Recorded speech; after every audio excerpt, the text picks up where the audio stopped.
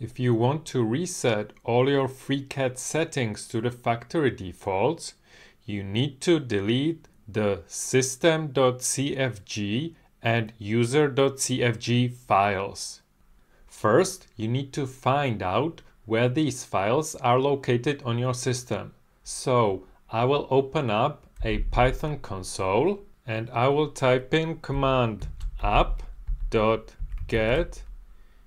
user app data dir and empty parentheses. It's case sensitive.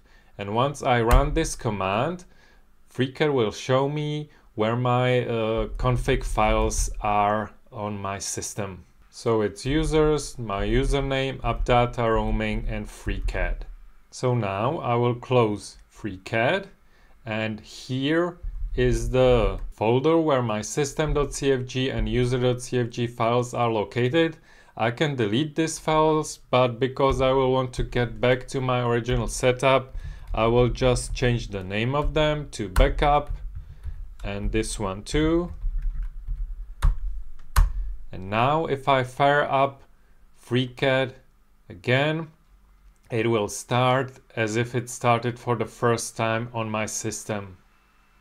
So you can see the default welcome screen and all of the settings are the factory default settings.